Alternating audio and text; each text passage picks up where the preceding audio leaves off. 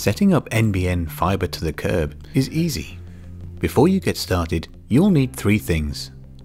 A message from us advising you to plug in your NBN FTTC equipment, your NBN modem, and an NBN network connection device, or NCD for short. If your home has been connected to the NBN before, there may already be an NCD plugged in at your premises. If not, a new NCD will be delivered along with your modem. You should also make sure there are two available electrical outlets near your telephone wall socket. First things first, make sure your NCD is plugged in correctly. The phone cable should connect the device's wall socket port straight into the phone socket on the wall.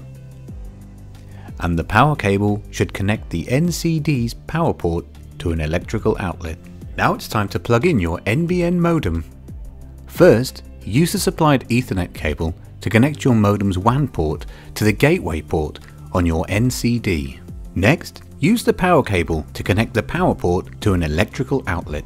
Finally, Make sure the electrical outlets for both devices are switched on and press the modem's power button to turn it on.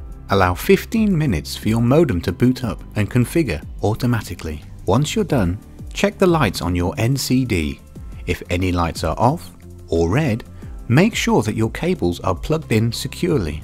You may need to plug your NCD into a different telephone wall socket if your home has more than one.